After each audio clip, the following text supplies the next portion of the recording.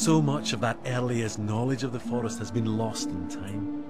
But thankfully, not all. In Glen Nant, in Argyll, I've arranged to meet one of Scotland's leading wilderness instructors. Hello, how are you doing? Pleased to meet you. A man called Patrick McGlinchey, who I'm hoping will teach me some of the skills our ancestors would have relied upon when they hunted and gathered here. so it's that shelter then, is it? Yeah.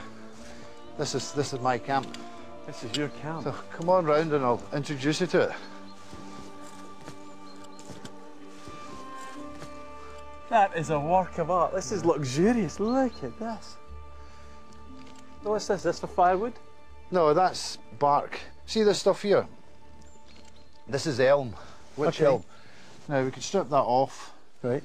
And we end up with strips like that. Then we take the outer bark off and then what we can do with lots of natural fibres like at barks and nettles, It's like I'm going into a shop here. we can make cordage. So this is cordage.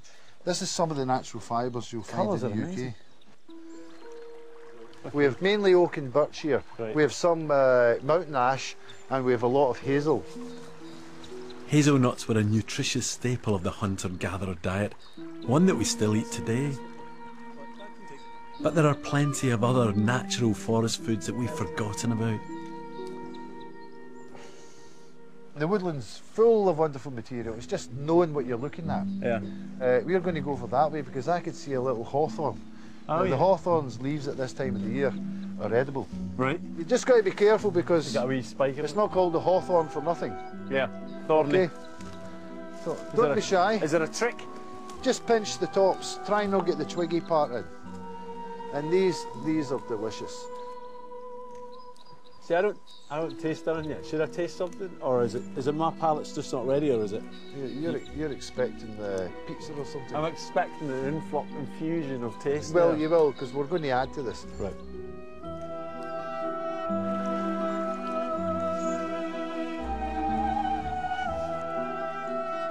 Here's an interesting little plant here, Ian. This is common sorrel. Uh, tell me what that does to your taste buds. It's a real fizz, isn't it? Just Uh, bursts yeah. out. But we don't take too much, just enough to, to fill a hole, as they say. Scotland's hunter-gatherer population was maybe as low as 10,000. For them, one small patch of forest like this could provide not just food, but tools and vital fuel for the skill that set them apart from the other creatures of the woods. Right, long strokes. More use of the bow gives you more revolutions. Now, start to build up the speed. You're going to get smoke very shortly. Now, that wee squeak there was the, the wood spirit laughing at you. Oh, aye. Okay. The wood should be warm now. I can see some smoke coming off, or dust. Oh, just take that out. You've got a coal there. I can tell by the smoke. Well, I'll hold it for you. There you go. See, see, how can you do that? I tell my kids not to play with fire. No, so they, they shouldn't either. But anyway, well done, that man. That was fantastic. I thought I'd lost it that little bit. I just thought it's not enough. No, no, you, you were on the ball. That's that's really That's good. my first fire.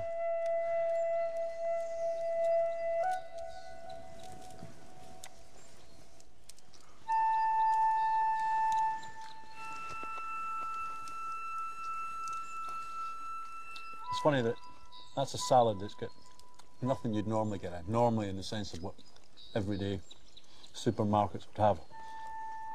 But it's, it's packed full of taste. Yeah. How did those ancient peoples kind of keep everything in balance though? Stop taking too much? Well, they moved about the landscape. They didn't always take from one area, hmm. and they moved with the seasons. When we gathered these plants up, we only took a handful of leaves from one, handful of leaves from the hawthorn. We didn't hmm. destroy it all. That's what it's all about.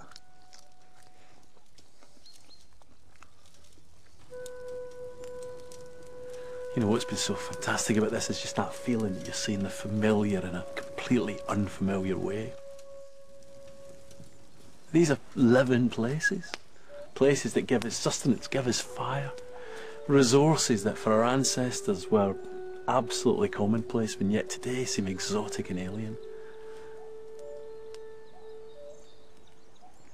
The woods are just the most wonderful place. Might not go home. Wild man of the woods.